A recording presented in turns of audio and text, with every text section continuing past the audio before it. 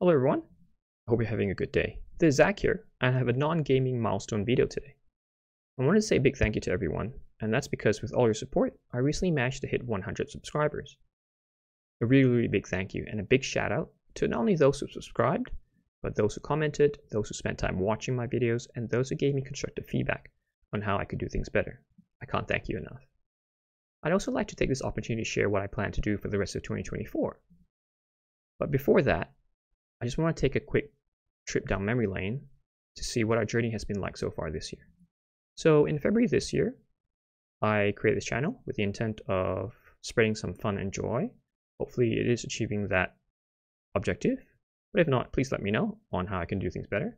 But the first game I picked up was Wartales, and I started a pilot series which only lasted two episodes, unfortunately. There's a reason for that. If you're curious and interested, please feel free to go to the pilot season or series and have a look at what I did wrong. But I learned a few lessons and I began season one of Wartales in earnest.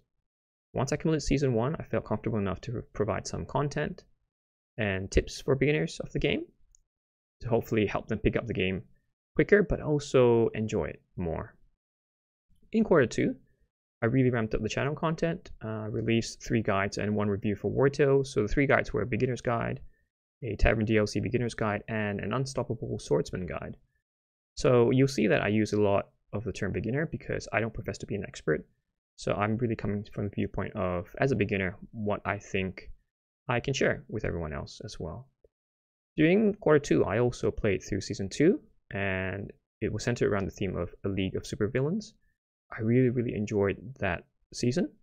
So far, obviously, it's been my favorite season. So if you're interested and you haven't watched it, feel free to have a look and let me know what you think. At the end of quarter two, I also started a new game called Marvel's Midnight Suns.